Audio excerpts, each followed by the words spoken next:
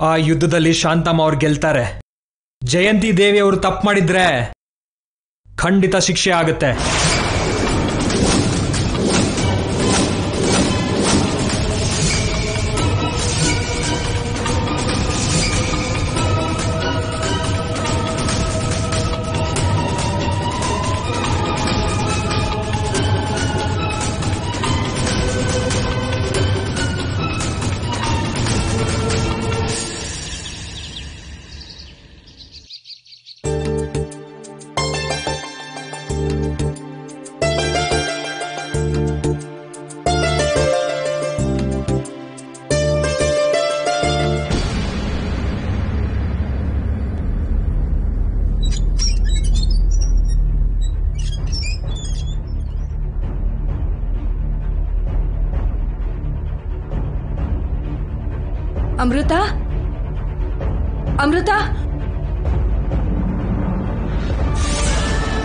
ಅಮೃತ?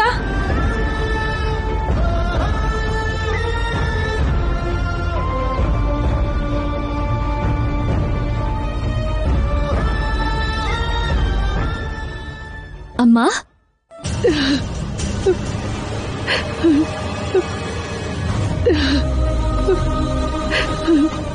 ಯಾಕಮ್ಮ ಈ ಕಣ್ಣೀರು? ಒಂದು ನಿಜ ಗೊತ್ತಾದಾಗ್ಲಿಂದ ಕಣ್ಣೀರ್ನ ಹಿಡ್ದಿಟ್ಕೊಳ್ಳೋಣಂದ್ರೆ ಆಗ್ತಿಲ್ಲಮ್ಮ.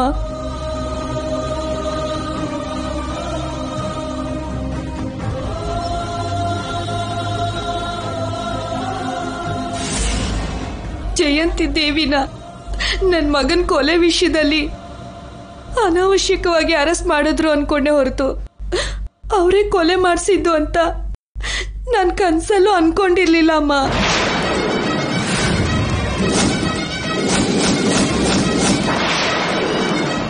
ನನ್ನ ಮಗ ಏನ್ ಅನ್ಯಾಯ ಮಾಡಿದಾನೆ ಅಂತ ಅವ್ರಂತ ಕೆಲಸ ಮಾಡಿದ್ರು.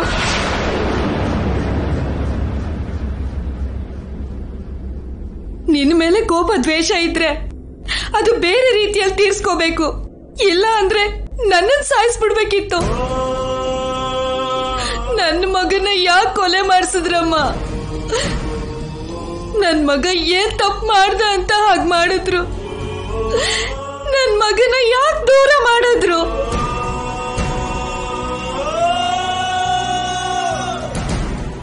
ಮನುಷ್ಯರು ತಪ್ಪು ಮಾಡಿದ್ರೆ ದೇವರು ಶಿಕ್ಷಿಸ್ತಾನೆ. ಆದ್ರೆ ಆ ಮನುಷ್ಯರು ದೇವರನ್ನೇ ಸಾಯಿಸ್ಬಿಟ್ರೆ ಯಾರು ಶಿಕ್ಷಿಸ್ತಾರೆ? ಆ ಜಯಂತಿ ದೇವಿನ ಯಾರು ಶಿಕ್ಷಿಸ್ತಾರಮ್ಮ?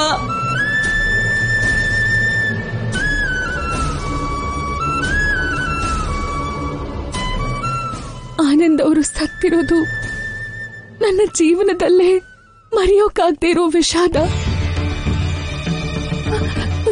ಕೆಲವು ದಿನಗಳ ಪರಿಚಯಕ್ಕೆ ನನಗೆ ಇಷ್ಟೊಂದು ನೋವಾಗ್ತಿರುವಾಗ ಹೆತ್ತ ಮಗ ಸತ್ ಹೋಗಿರೋದಕ್ಕೆ ನೀವು ಎಂಥ ನರಕನ ಅನುಭವಿಸ್ತಿದ್ದೀರೋ ನನಗೆ ಚೆನ್ನಾಗಿ ಅರ್ಥ ಆಗುತ್ತೆ.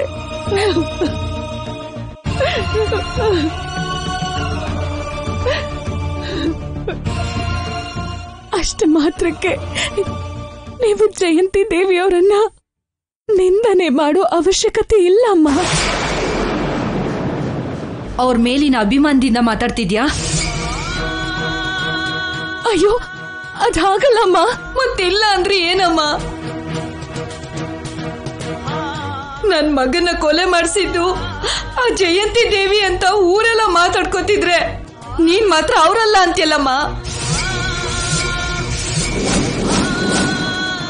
ನನ್ ಮಗ ಆಕ್ಸಿಡೆಂಟ್ ಅಲ್ಲಿ ಸತ್ತೋದ ಅಂತ ಅವನ ಆಯಾಸ ಅಷ್ಟೇ ಇದ್ದಿದ್ದು ಅಂತ ಅನ್ಕೊಂಡೆ ಹೊರತು. ಜಯಂತಿ ದೇವಿ ಪ್ರತೀಕಾರಕ್ಕೆ ಅನ್ಯಾಯವಾಗಿ ಬಲಿ ಆಗ್ತಾನೆ ಅನ್ಕೊಂಡಿರ್ಲಿಲ್ಲಮ್ಮ.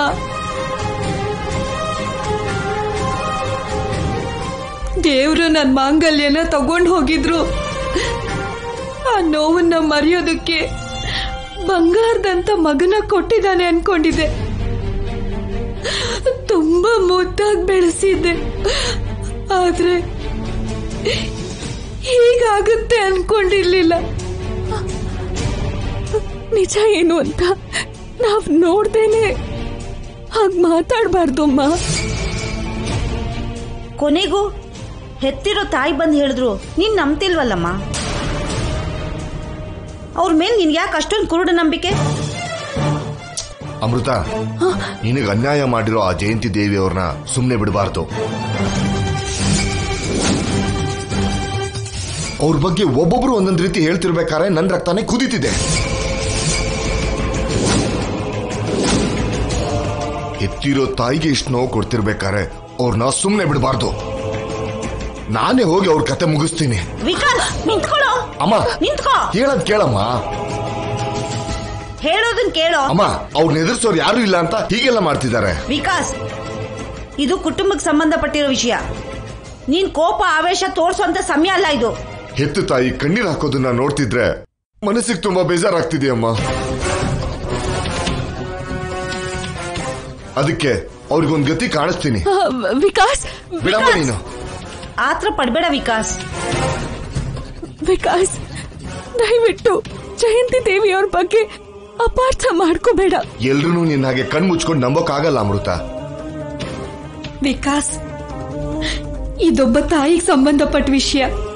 ನೀವ್ ಯಾರು ತೊಂದರೆ ತಗೊಳಕ್ ಹೋಗ್ಬೇಡಿ. ನನ್ ಸಮಸ್ಯೆ ಬಗ್ಗೆ ನಾನೇ ಹೋಗಿ ಮಾತಾಡ್ಕೋತೀನಿ.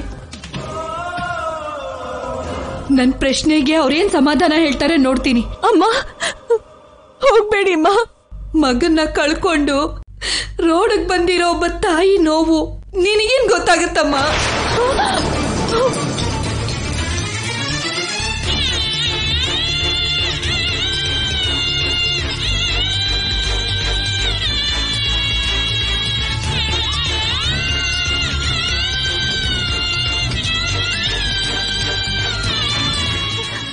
ಅಲ್ಲಿ ಎಷ್ಟು ದೊಡ್ಡ ಜಗಳ ಆಗುತ್ತೋ ಏನೋ. ಆಗ್ಲಿ ಅಮೃತ ಜಯಂತಿ ದೇವಿ ಮಾಡಿರೋ ಅನ್ಯಾಯಕ್ಕೆ ಹೆತ್ತ ತಾಯಿ ಪ್ರಶ್ನೆ ಮಾಡಿದ್ದಾರೆ. ಯಾರಾದರೂ ಪ್ರಶ್ನೆ ಮಾಡಿದ್ರೆ ತಾನೇ ಅವರ ಅಹಂಕಾರ ಕೊಬ್ಬು ಇಳಿಯೋದು. ಇನ್ನೊಂದ್ಸಲ ನಮ್ಮ ಮನೆಗೆ ಬರ್ಲಿ, ಆಗ ನೋಡ್ಕೊಂತೀನಿ.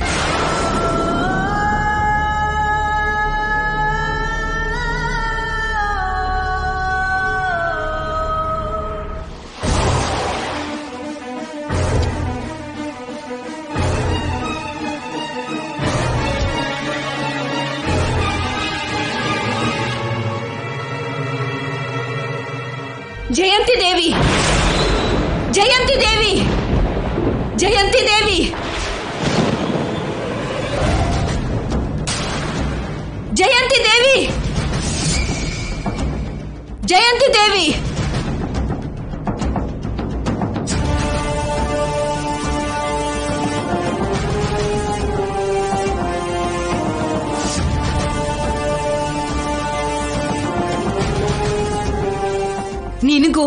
ನೀನ್ ಮಾಡಿರೋ ಕೆಲ್ಸಕ್ಕೂ ಕೈ ಎತ್ತಿ ಮುಗಿದೆ ಸುಮ್ಮನೆ ಇರೋಕಾಗ್ತಿಲ್ಲ. ನೀನ್ ಮಾಡಿರೋ ಒಳ್ಳೆ ಕೆಲ್ಸಕ್ಕೆ ಕೋಟಿ ನಮಸ್ಕಾರಗಳು ತಾಯಿ.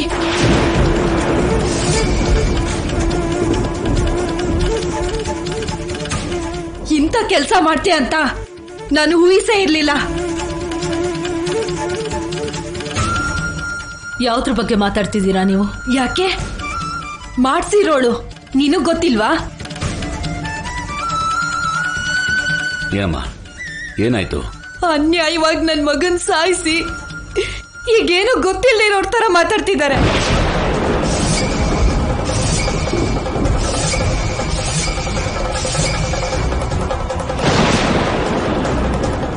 ನೀನು ಇಬ್ಬರು ಮಕ್ಕಳು ಹೆತ್ತಿದ್ಯಲ್ವಾ? ಇನ್ನೊಂದು ತಾಯಿಗೆ ಹೇಗೆ ಅನ್ಯಾಯ ಮಾಡ್ಬೇಕನ್ನಿಸ್ತಮ್ಮ ನಿನ್ಗೆ? ಬಸ್ರೀಲಿ ಮಗು ದೂರ ಆದ್ರೆ ತಾಯಿ ಆ ದೇವರನ್ನ ಎಷ್ಟು ನಿಂದಿಸ್ತಾಳೆ ಗೊತ್ತಾ?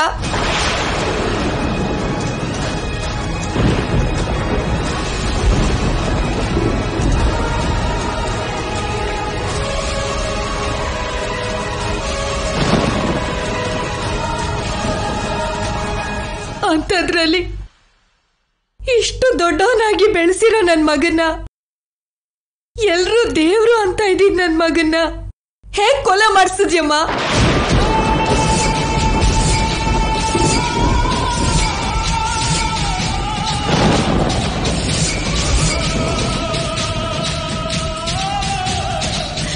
ಜೀವನಕ್ಕೆ ಇದ್ದಿದ್ ಒಂದೇ ಒಂದ್ ಸಂತೋಷ ಅಂದ್ರೆ ನನ್ ಮಗ. ಅಂತ ನನ್ ಮಗನ್ನ ಅಷ್ಟು ಅನ್ಯಾಯವಾಗಿ ಕೊಲೆ ಮಾಡ್ಸಕ್ಕೆ ಮನ್ಸ್ ಬಂತು ನಿನಗೆ? ನನ್ನ ಮಗನ ಕೊಲೆ ಮಾಡಿಸ್ಬೇಕು ಅನ್ನಿಸ್ದಾಗ ನಿನ್ ತಾಯಿ ಮನ್ಸು ಅಷ್ಟು ಕಠಿಣವಾಗಿ ಹೇಗ್ ಬದಲಾಯ್ತು?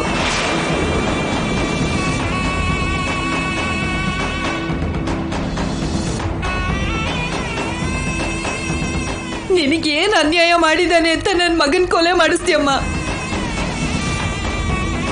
ನಿನಗೆ ಅಮೃತನ್ ಮೇಲೆ ಕೋಪ ಇದ್ದಿದ್ರೆ ಅಮೃತನ್ ಮೇಲೆ ತೋರ್ಸ್ಕೋಬೇಕಿತ್ತು. ನನ್ನ ಮಗನ್ ಮೇಲೆ ಯಾಕಮ್ಮ ತೋರ್ಸ್ಕೊಂಡೆ? ನನ್ ಮಗನ್ ಯಾಕೆ ಕೊಲೆ ಮಾಡಿಸ್ದೆ? ಹೇಳು ಹೇಳು ಯಾಕೆ ಕೊಲೆ ಮಾಡಿಸ್ದೆ? ನಿಲ್ಸಿ!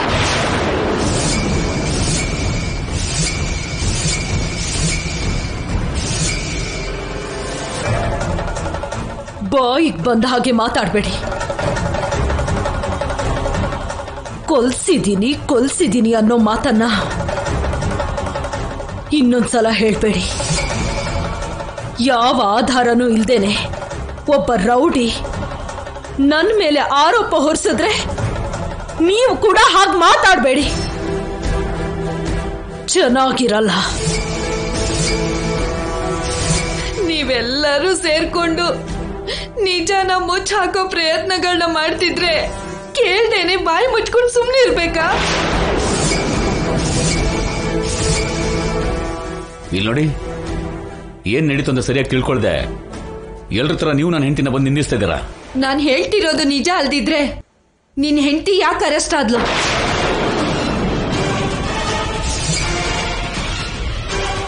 ಜನರೆಲ್ಲ ಅನ್ಕೊಂಡಿರೋದು ನಿಜ ಅಲ್ಲದೆ ಹೋದ್ರೆ ನಾಳೆ ನಿನ್ನ ಹೆಂಡತಿ ಕೋರ್ಟ್ಗೆ ಯಾಕೆ ಹೋಗ್ತಿದ್ದಾಳೆ? ಅಂದ್ರೆ ಲೋಕ ಎಲ್ಲ ಕೆಟ್ಟದು ನಿನ್ನ ಹೆಂಡತಿ ಮಾತ್ರ ಒಳ್ಳೆಯವಳ?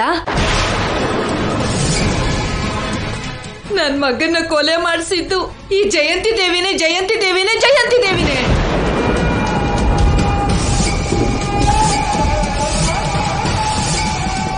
ಮತ್ತೆ ಅದನ್ನೇ ಮಾತಾಡಿದ್ರೆ ಕಪಾಳ ಮೋಕ್ಷ ಆಗುತ್ತೆ.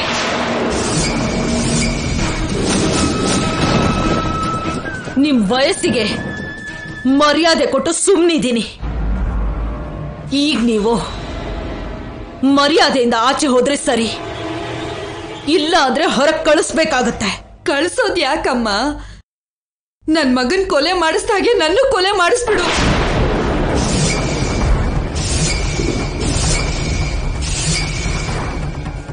ಕೊಲೆ ಮಾಡಿಸಿ. ಆ ನಿಜ ಹೊರಗಡೆ ಗೊತ್ತಾಗ್ದೇ ಇರೋ ಹಾಗೆ ಮಣ್ಣಲ್ಲಿ ಹೂತಾಕ್ಬಿಡು ನೋಡಿದ್ರ? ನೋಡಿದ್ರ ಹೇಗ್ ಮಾತಾಡ್ತಿದ್ದಾರೆ ಅಂತ? ಶಾಂತಮ್ಮ ಅವರೇ ನಾವು ನಿಮ್ಗೆ ಕೊಡ್ತಿರೋ ಗೌರವನ ನೀವು ಉಳಿಸ್ಕೊಂಡ್ರೆ ಒಳ್ಳೇದು. ನಮ್ಮಮ್ಮಂಗೆ ಇನ್ನೊಂದ್ ಮಾತ್ ಹೇಳಿದ್ರೆ ನಾವು ಸುಮ್ನೆ ಇರೋದಿಲ್ಲ. ನಿಮ್ಮ ಮಗನ ಕೊಲೆಗೂ ನಮ್ಮ ತಾಯಿಗೂ ಏನು ಸಂಬಂಧ ಇಲ್ಲ ಅಂತ ನೀವೇ ಪೊಲೀಸ್ ಹತ್ರ ಒಪ್ಕೊಂಡಿದ್ರಲ್ವಾ? ಏನೀಗ ಈ ಥರ ಮಾತಾಡ್ತಿದ್ದೀರಾ? ನಿಜ ಗೊತ್ತಾಗ್ದೇ ಇರೋವರೆಗೂ. ಎಲ್ಲರೂ ನಿಮ್ ತಾಯಿ ಬಗ್ಗೆ ಒಳ್ಳೆಯವರು ಅಂತಾನೆ ಅನ್ಕೊಂಡಿದ್ವಿ. ಶಾಂತಮ್ಮ ಅವರೇ ನಿಜ ಗೊತ್ತಿದೆಯಾ ಅಂತ ಬಾಯಿಗೆ ಬಂದಾಗೆಲ್ಲ ಮಾತಾಡಬಾರ್ದು. ಈ ರೀತಿ ಮಾತ್ರ ನಾವು ಆಡ್ಬೋದು. ಏನಾದರೂ ಹೇಳಬೇಕು ಅಂದ್ರೆ ಅದಕ್ಕೊಂದು ಆಧಾರ ಇರಬೇಕು. ಇಲ್ಲಿ ನೋಡಿ ದಾರಿಯಲ್ಲಿ ಹೋಗ್ತಾ ಎದುರುಗಡೆ ಒಂದು ಗಾಜಿನ ಮನೆ ಸಿಕ್ತು ಅಂತ ಅದಕ್ಕೆ ಕಲ್ಲು ಹೊಡೆಯುವಂತ ಮನಸ್ಸತ್ವನ ನಾವು ಬೆಳೆಸ್ಕೋಬಾರ್ದು. ಅದರಿಂದ ಯಾರಿಗೂ ಒಳ್ಳೇದಾಗಲ್ಲ. ನನ್ನ ಮಗನ ಕೊಲೆ ಮಾಡಿಸಿ. ನೀವೆಲ್ಲ ಈಗ ನೀತಿ ಪಾಠ ಹೇಳ್ತಿದ್ದೀರಾ? ಸುಮ್ನೆ ಕೇಳಿಸ್ಕೊತಾನೆ ಇದ್ರೆ ಇಂಥದ್ ಇನ್ನ ತುಂಬಾ ಹೇಳ್ತಾರೆ. ಕತ್ತಿ ಹಿಡ್ಕೊಂಡು ಆಚೆ ದಬ್ಬು ಕಿರಣ್. ಈ ಮಾತನ್ನೆಲ್ಲ ಇವ್ರ ಮನಸ್ಸಿಂದ ಹೇಳ್ತಾ ಇರೋದಲ್ಲ ಅಮ್ಮ. ಆ ಅಮೃತ ಹುಟ್ಸಿರೋದು. ಆ ಅಮೃತ ಕಿವಿ ತುಂಬಿಸಿ ಕಳಿಸಿರೋದು. ಯಾಕಮ್ಮ? ಯಾಕೆ? ಮಾತ್ ಮಾತ್ಗೂ ಆ ಅಮಾಯಕಗಳನ್ನ ಆಡ್ಕೊಳ್ತಿರಲ್ಲ. ತಪ್ಪನ್ನ ನೀವು ಮಾಡಿ ಶಿಕ್ಷೆ ಆ ಹುಡುಗಿಗೆ ಯಾಕೆ ಕೊಡ್ತೀರಾ? ಆ ಅಮೃತ ನಿಜವಾಗ್ಲೂ ಅಮಾಯಕ್ಲೆ ಎಷ್ಟು ಅಮಾಯಕ್ಳಂದ್ರೆ ಅವಳಿಗಾಗ್ಬೇಕಾಗಿರೋ ಗಂಡನ್ನ ನೀನೇ ಕೊಲೆ ಮಾಡಿಸಿದ್ಯಾ ಅಂದ್ರು. ನಮ್ಮಮ್ಮ ಹಾಗೆ ಮಾಡಲ್ಲ ಅಂತ ಅನ್ನೋ ಅಷ್ಟು ಅಮಾಯಕಳು.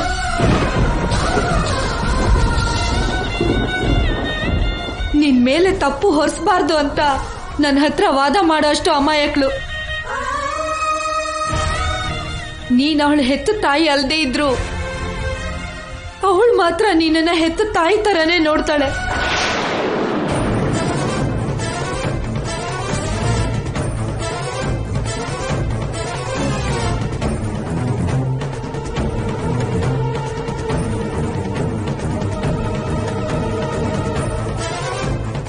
ಆ ಅಮೃತ,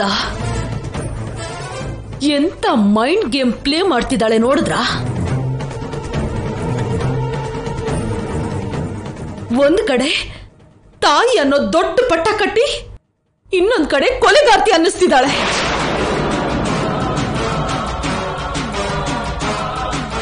ಅಮ್ಮ ಅಮ್ಮ ಅಂತ ಹೇಳಿನೇ ನನ್ನನ್ನು ಅಲ್ಲೋಲ ಕಲ್ಲೋಲ ಮಾಡ್ತಿದ್ದಾಳೆ. ನನಗೆ ಕೋರ್ಟಲ್ಲಿ ಶಿಕ್ಷೆ ಆಗುತ್ತೋ ಇಲ್ವೋ ಅಂತ ನನಗೆ ಗೊತ್ತಿಲ್ಲ. ಆದ್ರೆ ಈಗ ಮಾತ್ರ ಕ್ಷಣ ಕ್ಷಣನೂ ಶಿಕ್ಷೆ ಅನುಭವಿಸೋ ಥರ ಮಾಡ್ತಿದ್ದಾಳೆ. ನೋಡಿ, ನೀವು ಮಾಡಿರೋದು ಚಿಕ್ಕ ಪಾಪ ಅಲ್ಲ. ಆ ಪಾಪ ನಿನ್ನ ಸುಮ್ಮನೆ ಬಿಡಲ್ಲ. ಶಾಪ ಆಗಿ ನಿನ್ನ ಹಿಂದೆನೆ ಇರುತ್ತೆ.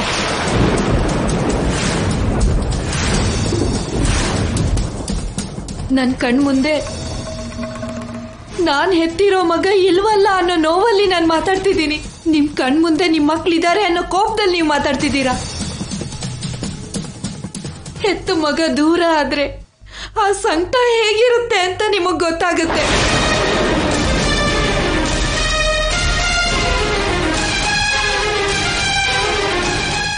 ನಾನು ಅನುಭವಿಸ್ತಾ ಇರೋ ಪುತ್ರ ಶೋಕ ನೀನು ಅನುಭವಿಸೋ ದಿನ ಖಂಡಿತ ಬರುತ್ತೆ.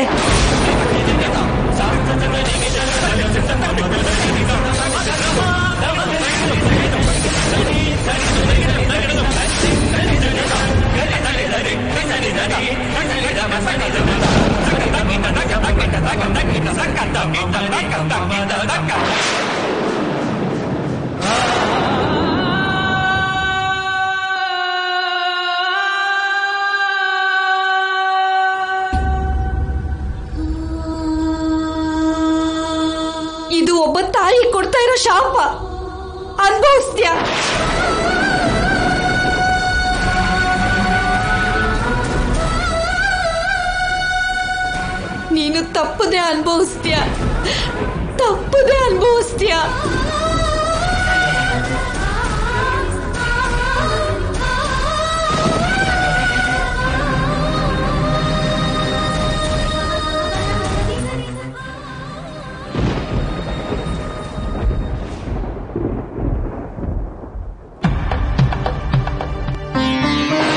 అమ్మా ఏమి ఏమి ఏమి కమ్మీ కమ్మా ಕಿರಣ್ ನೀರು ತಗೊಂಬ ಹೋಗು ಹಾ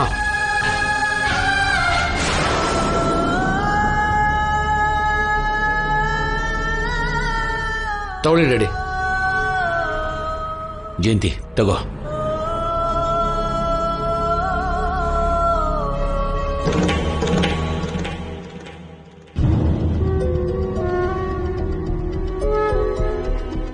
ಅವ್ರ ಮಾತಿಗೆಲ್ಲ ತಲೆ ಕೆಡಿಸ್ಕೋಬೇಡ ನಾನು ನಾನು ಪುತ್ರ ಶೋಕ ಅನುಭವಿಸ್ತೀನಾ? ಜಯಂತಿ ಅವರೇನೋ ಆವೇಶದಲ್ಲಿ ಹಾಗೆ ಮಾತಾಡಿದ್ದಾರೆ. ಹೌದಮ್ಮ. ಅವ್ರು ಹೇಳಿರೋ ಮಾತುಗಳು ನಿನಗೆ ಯಾಕೆ ತಗ್ಲುತ್ತೆ?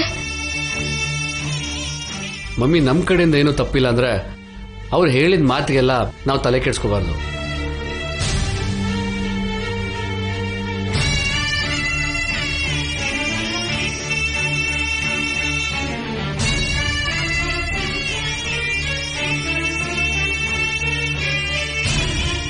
ನನ್ನ ಸ್ವಲ್ಪ ಹೊತ್ತು ಒಂಟಿ ಹಾಕ್ಬಿಟ್ಬಿಡಿ.